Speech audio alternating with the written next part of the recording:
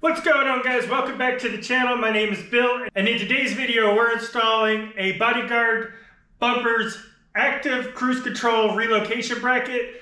Um, this is being done on Matt's car. It's not here in the garage right now. Um, refilming just this intro because we never really did one.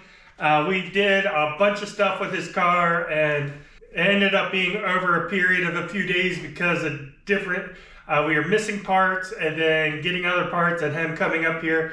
So the videos are kind of chopped up and I'm trying to put them back together and we didn't have any intro for this. So that's what this is. Anyway, um, going to go ahead and switch back over to the footage that we had before when Matt had his Bronco out here and we did the active cruise control relocation. And we also did a couple other things, but those would be in other follow-up videos. So uh, thanks for watching and let's get into it. So now we're going to relocate the active cruise control. So it's going to go from here to up here.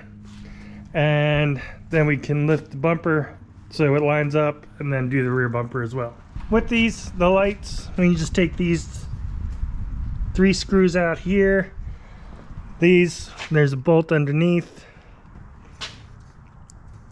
and a zip tie. I got new, I got more zip ties. Well, and same over here. We'll let those dangle. Pull that off. It does have the front sensors, so there is an OEM wiring harness right here. It's hard to see, but it's right back there. Just a clip. You don't have the front sensors, you don't have that wire, you don't have to worry about it. Um, him, he does, so we'll disconnect that, take this bumper off,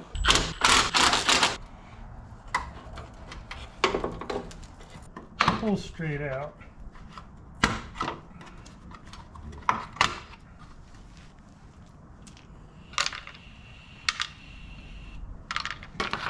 And then that exposes the three bolts on each one of these that are holding the bumper on. Once you take those off, the whole bumper will slide right off of there. For that, let's I'll loosen up these lights up here so we're not yanking those off. And we should be good to go.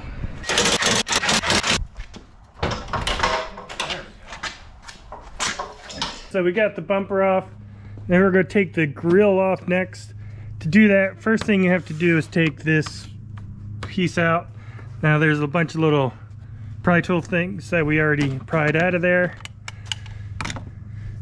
And you could just take this air box off. There's another pin that holds that in. Then we can just go ahead remove this. Before, if you have one of the higher higher ends where you have the camera camera cleaner, uh, make sure you disconnect those here. Um, he does have the Oracle lights, so we got these two wires running to the front. I'm just going to go ahead and clip them, and then we can yeah where they're already we'll thing resplice them. resplice them. So then take these four 10 millimeters off and we should be able to pull this whole thing off of there. Then once you have everything disconnected, this will just pull right off. Yes.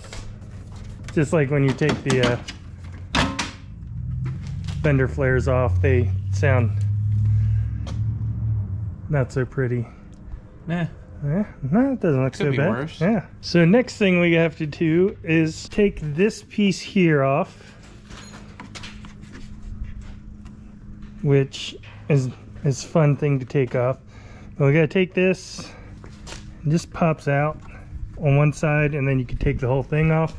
In order to take the headlight out, there's a bolt right down there, which you can't get to until you take this trim off. Take the fender flare off because it does protect this part right here. Out and these are the headlights. Which Now on your took this lower valance piece off. All right, so both headlights need to come out. There's a screw on top there, 10 millimeter, a Christmas tree there, 10 millimeter there, then 8 millimeter there. Same on both sides. Now they should just pull right out. There it is. And it's just a little thing that pops in there. So it shouldn't be that hard to get off. and then clip, pinch and pull.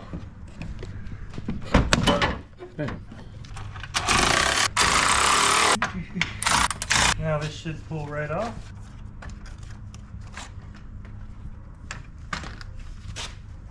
And apparently that was not the right, well, it was one of the connections, but there's a second one down here too. Happens to be a Christmas tree going, that's attached to it.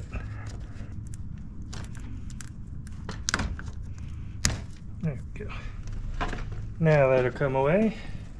Now, we did all that just so now we can disconnect this and reroute the cable. We gotta take this apart, take the cable out, run it up through here, and mount the mount this up here.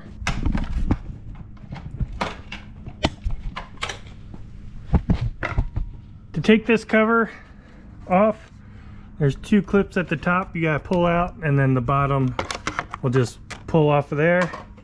And then these three silver bolts are what we want to take off, which are eight millimeter. So we'll back those out. And then that is your active cruise control module right there. These two bolts here, and then these two up here to take this whole shroud off so we can get to the back side. Now this whole thing can come apart. So now we got to cut this wiring apart to separate these two bundles here. And then take this one all the way back to here so we can run it out. Alright, so so far I've had to split this whole um, wire loom apart and separate this plug and then the plug that goes to the active shutters down here. So now I'm just retaping this and then I'll start taping that side and then we'll go all the way up. All right, so we've got this all torn apart. We've got this wire separated and this is gonna go up to right about here. But before we finalize all that, I'm gonna go ahead and put this bracket together.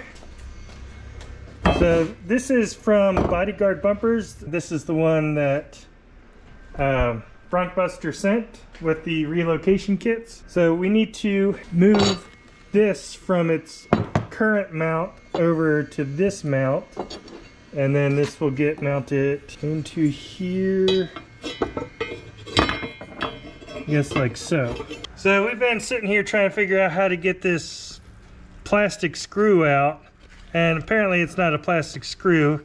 It's just a stud and a little plastic insert that it goes into and it just pops right off of there. Of course, now this last one doesn't want to pop off there. There we go. Yeah, so it just pops off. Now, that could have saved us a whole lot of time. Now we got to take these inserts out, which probably easier from the back side to kind of squish in. Or not. Now guys, push these through. All right, so now we got this all apart. We've got the inserts out of here, which they just got pried out. Now, we're supposed to install these inserts here, just so that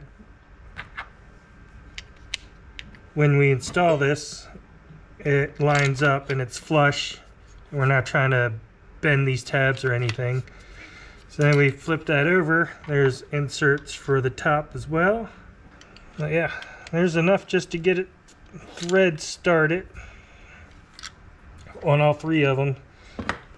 Uh, I guess that'll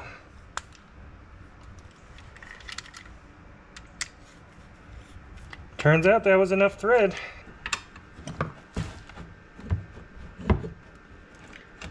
I guess ideally we'd put this through that way. All right, and then so we're gonna put a screw in there and then one here, one here. All right, now, the reason this sticks forward some and can't be completely flush is because we have the connector on the back, so it had to come out some for that connector to fit. Now if we go over to the Bronco, where this is going to fit is we need to take these two bolts out, slide this back underneath the hood latch, and then put those bolts back in, which will set this right here. So, and then we need to run our wiring.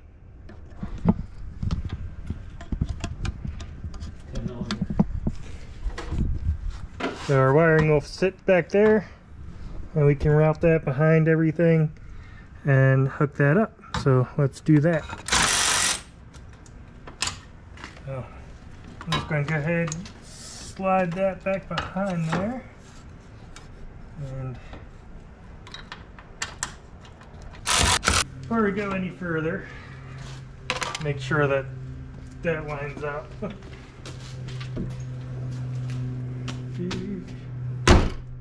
Beautiful.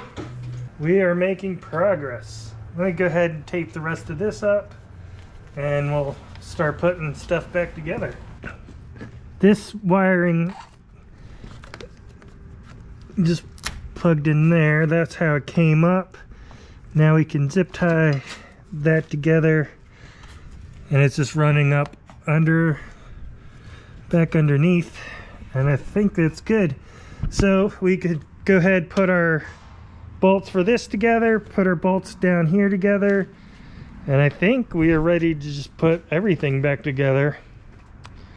So that's what one, two bolts on here on both sides. Then there's a bolt on top and then a bolt on the front for these and then four along the front and everything here should be assembled. Then we can put our lights in and go from there.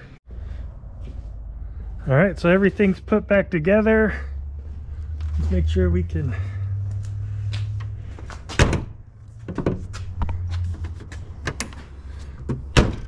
Okay, make sure we can close the hood.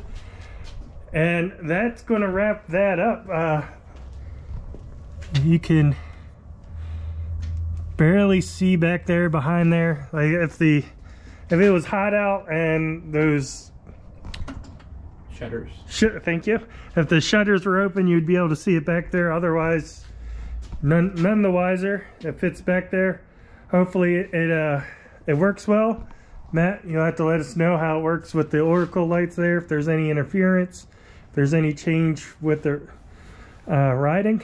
And uh, other than that, that's going to go ahead and wrap it up for that video. I hope you enjoyed it. If you did, hit that thumbs up button. If you'd like to see more videos like this in the future, hit that subscribe button. We'll see you next time. Thanks again, Matt. Tattoo Matt, Matt71. Yep. Tattoo Matt71. Tattoo Matt 71. 71. At Instagram. On Instagram. Um, so thanks again, and we'll see you guys next time.